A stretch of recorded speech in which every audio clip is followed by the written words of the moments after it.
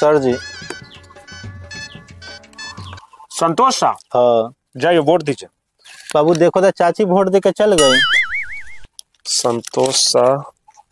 रीना देवी? हाँ। एक घंटा हो गया। एक घंटा पहले आते तो भेंट हो जाती ना। का है आप लोग का घर में बात विचार नहीं होता है का? उसको मरे हुए पंद्रह साल हो गए। खाली चुनाव के समय आती है वोट डालती है चल जाती है। अब फिर हमको पाँच साल इंतज़ार करना होगा। कैसे कैसे लोग रहते हैं यार यहाँ पर? चलो तुमको